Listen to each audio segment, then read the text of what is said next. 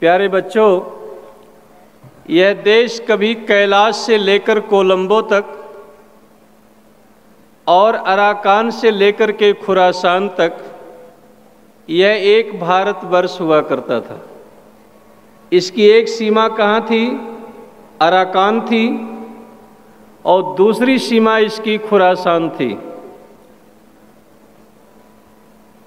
एक सीमा इसका कैलाश था और दूसरा सीमा इसका कोलंबो था। तो अराकान इस समय जो म्यांमार की सबसे ऊँची पहाड़ी है, उसे अराकान कहा जाता है और ईरान की एक जो ऊँची पहाड़ी है, उसका नाम खुरासान है। तो म्यांमार से लेकर के ईरान तक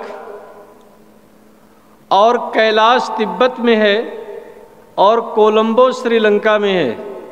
तो कैलाश से लेकर के कोलंबो तक और अराकान से लेकर के खुरासान तक यह एक भारत वर्ष हुआ करता था। इस भारत वर्ष को तहस नहस करने के लिए तेरह बार आक्रमण हुए। जिन आक्रमणों के लिए हमें युद्ध लड़ना पड़ा, सबसे पहला आक्रमण 460 बीसी बाई पर्सियन पहला आक्रमण आज से 2478 वर्ष पूर्व पर्शियन लोगों ने किया, लेकिन वह आक्रमण उनका सफल नहीं हुआ। दूसरा आक्रमण 4 मई 227 बीसी ईसा के 327 ईस्वी पूर्व the great of Greece Alexander ने इस देश पर अटैक किया। लेकिन चंद्रगुप्त और चाणक्य की जोड़ी ने उन्हें ब्यास रिवर क्रॉस नहीं करने दिया और उनके सेनापति सेलुकस ने अपनी बेटी हेलन का विवाह चंद्रगुप्त के साथ करना पड़ा। और जीता हुआ राज्य उनको दहेज में देकर के कंप्रोमाइज करना पड़ा। विश्व की सबसे पहली इतनी बड़ी सेना चंद्रगुप्त के सामने सरेंडर किया और दूसरा 16 दिसंबर 1971 को शाम चार बजकर के 16 मिनट पर पाकिस्तान के ठाठा के जनरल नियाजी की सेना 93,000 फौज जनरल जगजीत सिंह अरोड़ा के सामने सरेंडर किया। इतनी बड़ी फौज दुनिया में किसी देश के सामने कभी सरेंडर नहीं किया। तो दूसरा आक्रमण 327 बीसी में हुआ, जो ग्रीस से आया। तीसरा आक्रमण 100 बीसी में हुआ, जो कुषाण लोगों ने किया, जिसे आप यूसी कहते हैं, जो किंग ऑफ़ कनिष्का थे लेकिन यूची लोग दुनिया से समाप्त हो गए। हिंदुस्तान को समाप्त करने का ख्वाब वो देखते रह गए। इस देश को तबाह करने के लिए चौथा आक्रमण 79 एडी में आया, जो शक लोगों ने किया और शक दुनिया से समाप्त हो गए। हमें समाप्त करने के हसीन सपने कामयाब नहीं हुए। इस देश को तबाह करने के लिए पांचवा आक्रमण 535 एडी में आया। आप लोग लिख रहे हैं कि हमारी शक्ल देख रहे हैं। उसे नोट करने के लिए बताया था ना आपको? पांचवा आक्रमण 535 ईस्वी में हुआ, जो हूड़ लोगों ने किया, लेकिन हूड़ भी दुनिया से समाप्त हो गए। हम दुनिया के सामने आज भी सर उठा करके खड़े हैं। इस देश को तबाह करने के लिए छठवां आक्रमण 650 ईस्वी में गुजरात बल्भीपुर में आया और यहाँ के स्टेट को तबाह करने का उन्होंने सपना देखा, लेकिन वो कामयाब नहीं हुए। सातवां आक्रमण 950 ईस्वी से लेकर 1026 तक सेंट्रल एशिया से आते रहे इसी गुजरात पर। सोमनाथ मंदिर को कितने बार उन लोगों ने लूटा, इसे नुकसान पहुँचाया, और वो लोग प्रयास करते रहे। लेकिन इससे पहले एक आक्रमण हुआ था सिंध में 20 जून 712 को मोहम्मद बिन कासिम का हुआ था, जो सिंध के राजा दाहिर का कत्ल किया, और वहाँ से काफ़ी संपत्ति लूट करके ले गए। कई इतिहासकारों ने इसके विषय में बहुत सी बातें की है और कितनी संपत्ति ले गए वो आकलन करना बड़ा मुश्किल है। तो ये कितने आक्रमण हो गए? आठ हो गए, सात नहीं हुए, आपने लिखा नहीं।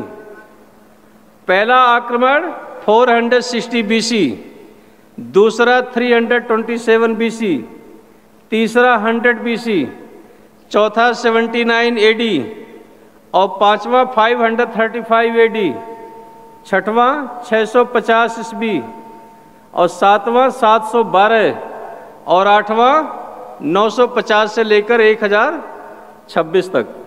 ठीक है? नौवा आक्रमण 1911 टू में हुआ, जो मोहम्मद गौरी का आक्रमण हुआ। मोहम्मद गौरी और पृथ्वीराज चौहान की दो बार युद्ध हुई।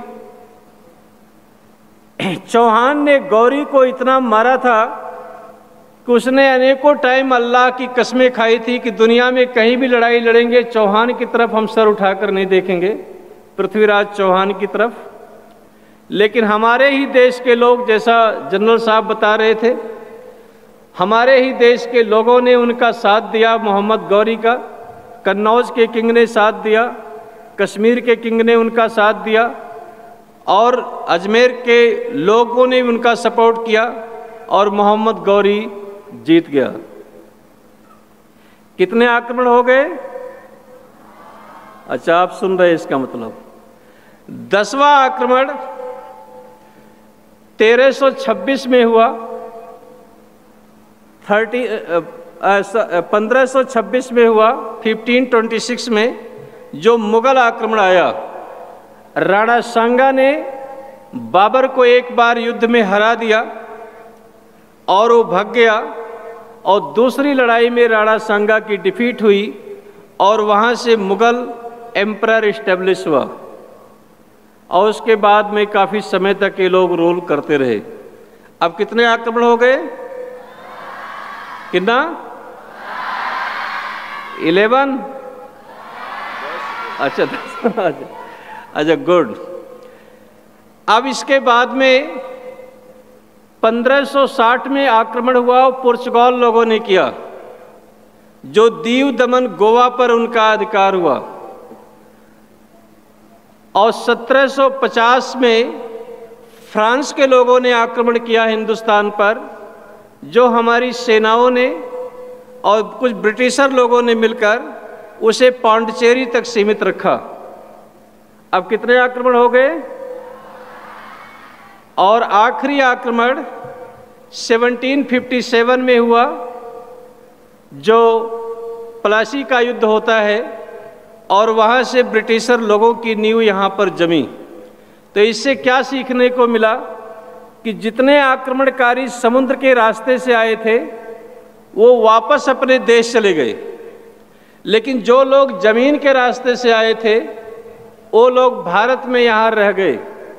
अपने धर्म के साथ या अपने संस्कृति सभ्यता को बदल कर तो आप लोग ये देश जो अराकान से लेकर के खुरासान तक था, जो कैलाश से लेकर के कोलंबो तक था, वह देश अब ईटानगर से लेकर के गंगानगर तक और लेह से लेकर के लक्षद्वीप तक ये 30 लाख स्क्वायर किलोमीटर का कंट्री आपके भाग्य में है। जो देश इतना बड़ा था, वो देश की सीमा घटकर इतना हो गई। अब इसे और कम करना है कि इसे बढ़ाना है? इस देश की सीमा को घटाना है या बढ़ाना है? तो कैसे घटेगा और कैसे बढ़ेगा?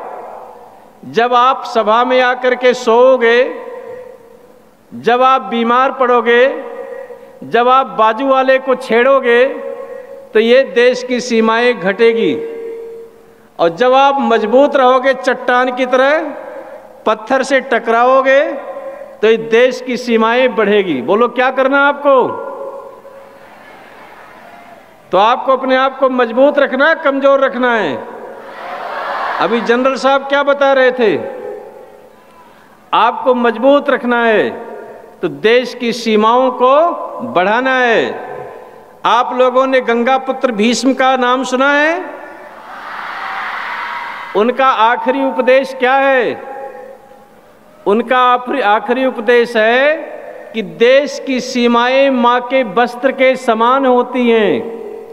और जिस तरह से माता के शरीर का विभाजन नहीं किया जाता है, पुत्र युधिष्ठिर, उसी तरह से देश का विभाजन नहीं किया जा सकता है। तो ले, मैंने लिखा कि पाउडर खाकर बनाई गई बॉडी, पाउडर खाकर बनाई गई बॉडी और व्हाट्सएप से प्राप्त किया गया ज्ञान, जैसे मुकेश जी बता रहे हैं ना, व्हाट्सएप आदि में घुसे, व्हाट्सएप से प्राप्त किया गया ज्ञान और फेसबुक पर पैदा हुआ प्यार। ये लंबा समय टिकता नहीं है। चाणक्य लिखना भूल गए थे।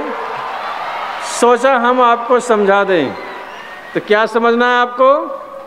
कि पाउडर खाकर बनाई गई बॉडी व्हाट्सएप से प्राप्त किया गया ज्ञान और फेसबुक पर पैदा हुआ प्यार, वो लंबा समय तक टिकता नहीं है।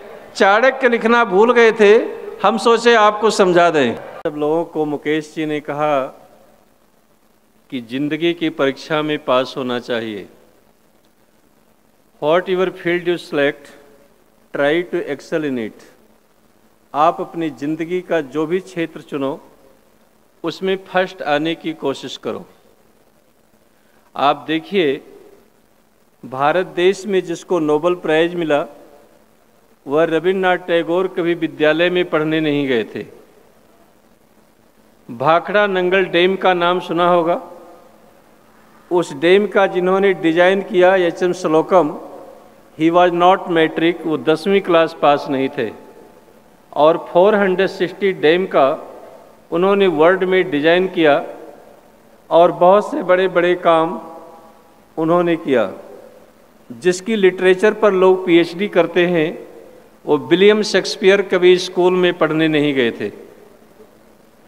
भारत देश के तमिलनाडु राज्य के एक कुशल चीफ मिनिस्टर के कामराज, वो अपनी सिग्नेचर नहीं कर सकते थे, अंगूठा लगाते थे थम लगाते थे, लेकिन एक कुशल प्रशासक आज भी तमिलनाडु के लोग उनका, उनको याद करते हैं।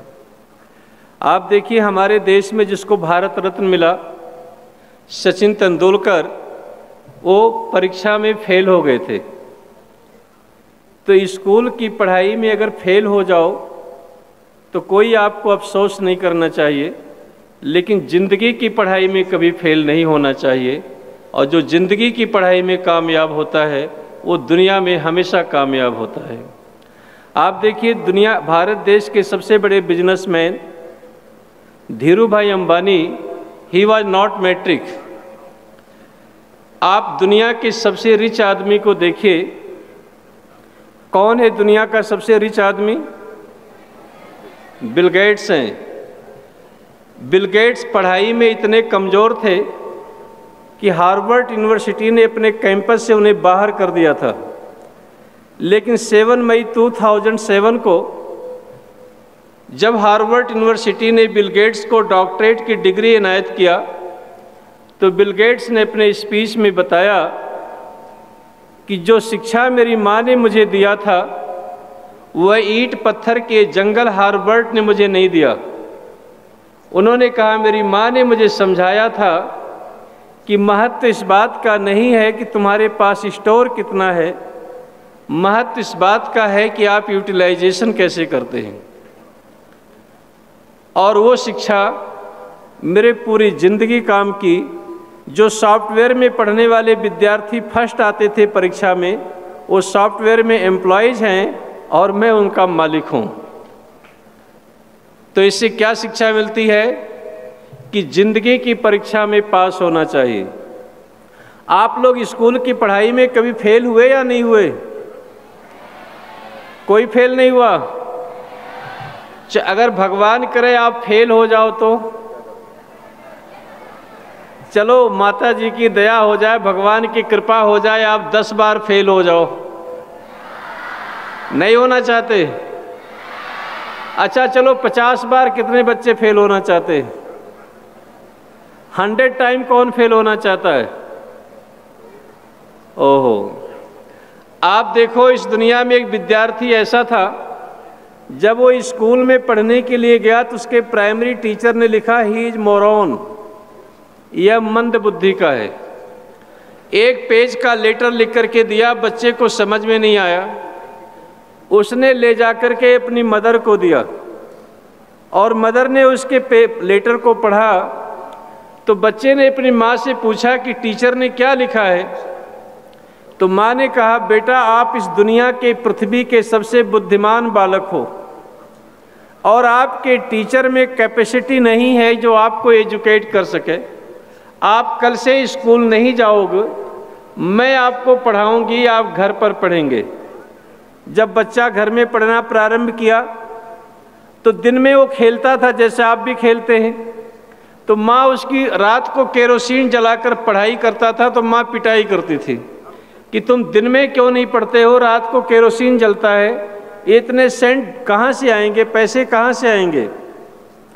तो उस बच्चे ने सोचा कि मैं एक दिन लाइफ में ऐसा काम करूँगा कि लोगों के आँखों से अंधेरा दूर कर सकूँ। और लोगों के आँखों से अंधेरा दूर करने के लिए मैं एक ऐसा फिलामेंट बनाऊँगा, जिसमें विद्युत का प्रवाह हो, रोशनी हो, लेकिन वो डिस्ट्रॉय ना हो। अर्थात हम बल्ब का आविष्कार करेंगे। जिस समय थॉमस अल्वा एडिसन ने बल्ब का आविष्कार करना प्रारंभ किया तो एक बार फेल नहीं हुआ हंड्रेड टाइम फेल नहीं हुआ थाउज़ेंड टाइम फेल नहीं हुआ, वो अपने लाइफ में थ्री थाउज़ेंड टाइम्स फेल हुआ। कितने बार फेल हुआ? तीन हज़ार बार फेल हुआ। जब तीन हज़ार बार फेल हुआ तो बहुत क्रिटिसिज्म पूरे यूनाइटेड स्टेट में हुआ। लोग कहते थे इसके टीचर ने बचपन में लिख दिया था, ये मंदबुद्धि का है। अलग अलग प्रकार के कमेंट्स करने लगे। लेकिन जब उनके दोस्त स्टूअर्ड उनसे मिलने आए, कहा, आप तीन हज़ार बार फेल हो चुके हैं, सारी क्रेडिबिलिटी हमारी लॉस हो चुकी है, अब आपको कुछ ऐसा काम करना चाहिए, नया इनोवेशन करना चाहिए, जो आप अपनी खोई हुई प्रतिष्ठा को हासिल कर सकें. तो थॉमस अल्वा एडिसन ने क्या कहा डियरेस्ट फ्रेंड मैं तीन हज़ार बार फेल नहीं हुआ हूँ। उसने कहा, क्यों? उसने कहा, हमने तीन हज़ार ऐसे टेक्निक की खोज की है जिससे बल्ब नहीं बन सकता। मैं तीन हज़ार थ्री थाउज़ेंड ऐसे टेक्निक की खोज की है जिससे बल्ब नहीं बन सकता। अब मुझे एक और तरीके की खोज करनी है जिससे मैं बल्ब बना सकूँ। और अगर मुझे सक्सेस नहीं मिलेगी, दूसरा कोई व्यक्ति काम करेगा तो हमारे इन तीन हज़ार गलतियों से शिक्षा लेकर अपने काम की शुरुआत करेगा। Failure is not crime, fail होना कोई क्राइम नहीं है। तो इसलिए ज़िंदगी में कभी होपलेस नहीं होनी चाहिए। आप लोगों ने शक्तिमान की बात सुनी है? सुना है नहीं सुना? कितने लोगों को शक्तिमान बनना है इसमें से? जो नहीं बनना है, वो हाथ मत खड़ा करे, जिसको बनना है, वो हाथ खड़ा कर दे। सबको शक्तिमान बनना है? वेरी गुड अच्छा शक्तिमान की शक्ति किसके पास आकर खत्म होती है? शक्तिमान सीरियल देखा आपने? शक्तिमान की शक्ति किसके पास खत्म होती है? किलबिश के पास आने से किसके पास खत्म होती है? किलबिश के पास। जब किलबिश के पास आता था तो शक्तिमान की शक्ति खत्म हो जाती है। ये बात समझ में आई? जब मैं बहुत छोटा था तो मेरी ग्रैंड मदर को ये चिंता थी कि मेरा बच्चा आगे चलकर बिगड़ न जाए। तो उन्होंने एक पंडित जी से प्रार्थना किया कि हमारे पंडित जी बच्चे को कुछ शिक्षा दो संस्कृत की, वेदों की। ये स्कूल में जो पढ़ेगा, सो पढ़ेगा, लेकिन आप इसको अपनी संस्कार की शिक्षा दो। तो पंडित जी ने कहा कि सुबह पाँच बजे आना पड़ेगा और अगर ये नहा करके आएगा तो मैं पढ़ाऊँगा, बिना नहाए आएगा तो मैं नहीं पढ़ा सकता। तो मेरी ग्रांड मदर मुझे चार बजे जगाती थी और नहला करके पंडित जी के पास ले जाती थी और पाँच बजे पंडित जी हमको पढ़ाते थे। तो पंडित जी ने एक वाक्य हमें रटाया कि पाप दस प्रकार के होते हैं। वो था न्याय दर्शन के सूत्रों का भाष्य था, वात्स्यायन मुनि का। हमने याद किया शरीरेण प्रवर्तमान हिंसास्ते प्रतिसिद्ध मैथुन अन्याचरित वाचा नृत्य पर सूचना संबद्धानी मनसा परद्रोहम परद्रव भीपसाम नास्तिकम चेती संयम प्रवृत्ति अधर्माए साधारण तौर पर पाप दस प्रकार के होते हैं। शरीर के द्वारा तीन प्रकार के पाप होते हैं, हिंसा, चोरी और दुराचार। वाणी के द्वारा चार पाप होते हैं, झूठ बोलना, कठोर वचन कहना, चुगली करना, बिना प्रयोजन की बातें करना। और मन के द्वारा तीन पाप, दूसरे के प्रति द्वेष करना, दूसरे के धन को हरण करने की इच्छा रखना और दसवां पाप ईश्वर को न मानना। इस दस प्रकार के पाप से जो मुक्त होता है, वो धर्मात्मा होता है। मैं बहुत खुश हुआ। और मैं दौड़ता हुआ अपनी दादी शाह के पास गया और उन्होंने उनको बताया कि मैंने पाप दस प्रकार के होते मैंने याद किया। मैंने सोचा, वो मेरी बहुत प्रशंसा करेंगी। लेकिन वो दो मिनट तक मौन रही। उन्होंने थोड़ी देर आँख बंद करने के बाद कहा, बेटा, ऋषि मुनि तो भगवान जैसे हैं और पंडित जी भी बड़े महान, विद्वान हैं, ज्ञानी हैं। इनकी बात कभी भूल जाओ तो कोई अफसोस नहीं, फिर याद कर लेना। लेकिन मेरी छोटी सी बात याद रखना कि जो बात और जो वस्तु आपको किसी से छिपानी पड़ती है, वो समझो पाप है। क्या बताया कि जो बात और जो वस्तु आपको किसी से छिपानी पड़ती हो, वो समझो पाप है। और एक बात याद रखना कि वेल्थ लॉस होने के बाद वापस आ सकता है। क्रेडिट लॉस होने के बाद वापस आ सकती है। हेल्थ लॉस होने के बाद वापस आ सकता है। लेकिन विश्वास लॉस होने के बाद ट्रस्ट को खो देने के बाद वो वापस नहीं आता। तो ज़िंदगी में कभी विश्वास नहीं तोड़ना चाहिए। तो आप लोग को शक्तिमान बनना है और शक्तिमान की शक्ति खत्म होती किलबिस के पास। और किलबिस है संस्कृत भाषा का शब्द। वाल्मीकि ऋषि ने कहा, प्रचेतसो हम दसमो पुत्रो रघुनंदन मनसा वाचा कर्मणा भूतपूर्वम न किलबिसम मैंने जीवन में कभी पाप नहीं किया है। यजुर्वेद में कहा, माँ किलविषय पाप मत करो।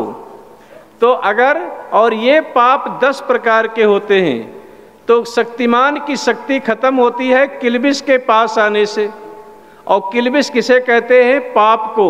और ये पाप कितने प्रकार के होते हैं? दस प्रकार के। और अगर आप ये पाप करेंगे तो शक्तिमान नहीं बन सकते ये बात समझ में आई आपको? थैंक यू तो आप देखिए कि सबसे ज़्यादा शक्तिशाली लड़कियाँ होती हमारे देश की लड़कियाँ मैंने बताया आप अमेरिका अपने आप को मॉडर्न स्टेट कहता है ब्रिटेन अपने आप को मॉडर्न कंट्री कहता है फ्रांस कहते हैं, लेकिन इन देश के कोई भी लोगों ने अपनी महिला फोर्स को ह्यूमन फोर्स को विदेश भेजने में हिम्मत नहीं जुटा पाए लेकिन विश्व में भारत एक ऐसा देश है, जो 2006 में अपनी महिला फोर्स को लाइबेरिया में भेजा और हमारी बहन और बेटियों ने लाइबेरिया की आतंक को अपनी मुट्ठी से उनको नकेल कसा। ये भारत की महिलाओं ने परिचय दिया है। तो ये आज तक अमेरिका, ब्रिटेन, फ्रांस ने हिम्मत नहीं जुटा पाई। तो ये आप सोचो कि देश की सबसे शक्तिशाली कौन होती हैं? लड़कियाँ होती हैं। इसलिए सारे लड़कों को जब लड़की मिले तो पैर छू के प्रणाम करना चाहिए। क्या करना चाहिए? कहो कि माता जी हमें शक्ति दो। माता जी हमें धन दो, पैसा दो। तो आप लोग बोलो, सब लड़कियों की पैर छुओगे, नहीं छुओगे? नहीं करोगे? क्यों? आप लोग लक्ष्मी जी के पैर छूते हो, नहीं छूते हो? दुर्गा जी से शक्ति मांगते हो, नहीं मानते हो? तो अगर आप लड़कियों की पूजा नहीं करोगे तो फिर आप शक्तिशाली नहीं बन सकते हो, शक्तिमान नहीं बन सकते हो। तो शक्तिमान बनना है तो आपको क्या करना पड़ेगा? इस तरीके से आपको काम करना पड़ेगा।